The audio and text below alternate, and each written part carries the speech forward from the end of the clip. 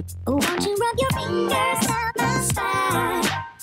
波浪曲吧，现在是下午下午几点？四点五十三分，因为睡到三点才起来。给大家看一下是哪一家。然后我们今天有一个小任务，我们等等要去文具行找一个东西，我们先吃饱再说。要，开动喽！脆洋葱看起来厉害耶。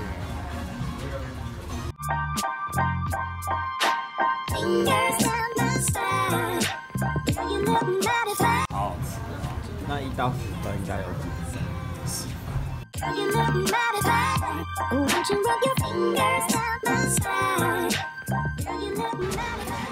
买到了，那是二零一八的。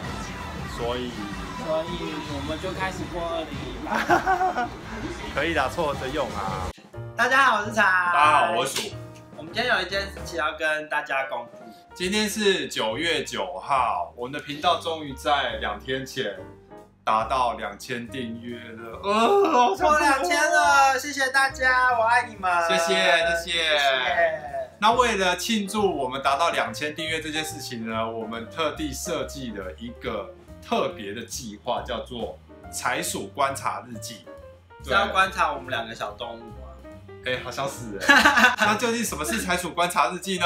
这个 project 啊，它有一点是除了庆祝两千之外，然后也想要考验，就是我们到底有没有办法连续九十九天上传影片。哦，从今天九月九号开始，连续九十九天呢，四个九哎。感觉就是是有点难度的一个一个一个挑战。我们觉得说，大家好像平常生活、啊、就是每天好像都过得差不多，就很忙碌，忙进忙出的，一天又结束了。忙着上课，忙着上班，然后就觉得每天的生活都很索然无味，都过得跟昨天、前天、上个礼拜好像一样。嗯，大家常常会忽略，就是在我们的生活中，你每天的日常，其实有很多是值得我们去记录下来，或者是去仔细观察的一些东西。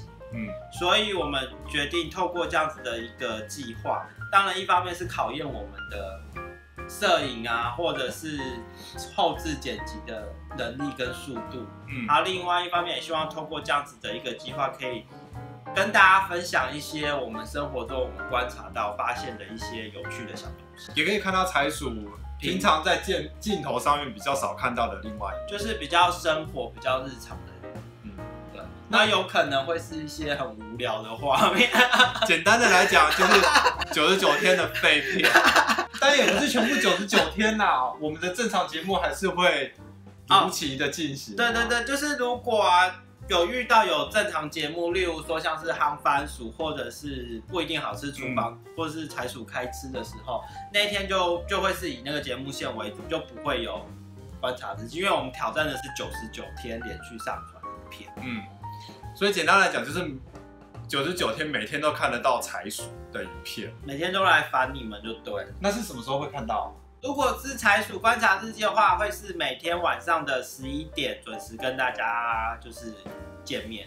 那如果不是观察日记的话，就是照原本 freestyle 正 爱什么时候出就什么时候出。所以所以就是要记得要加一下订阅对，跟那个开铃铛。那既然它是一个挑战呢、我觉得就是要有一点惩罚嘛。对，只要有挑挑战，就一定会有输赢，然后会有惩罚。万一在这九十九天里面啊，我们没有做到，其中有一天没有上传的话，我们给自己设定的惩罚就是，我们要把第一份当 YouTuber 的广告收益捐出来。哦，你说要把那张第一张支票捐出来，是不是？其实我们到现在还领不到那一张支票了，因为赚的钱太少。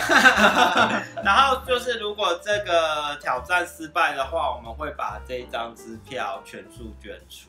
那希望我们可以成功。一定会成功的啊！我觉得有点困难呢，万一我那天忽然就是生病啊，不能请假的。对，那所以因为它是一个九十九天的计划，所以我们从今天开始呢，我们准备了一个好大的阅历，对，请才帮我们在九月九号上面开始打 就是，就是我们每天都会记录啦，就是倒数的意思，倒数日的意思。所以今天是九月九号，哎，大家有没有发现为什么九月九号是礼拜天？对啊，今天不是礼拜六吗？我们没有作弊，是因为我们买不到二零一七的，这个是二零一八。但我想说，但我们想说日子应该还是一样嘛，就是只有差一天而已。对啊，不会差太多。那我们就是把九月九号划掉了，对，差噔噔，恭喜第一天完成，yes 啊，给镜头看一下，给给镜头看一下，九月九号，第一天九月九号完成啦。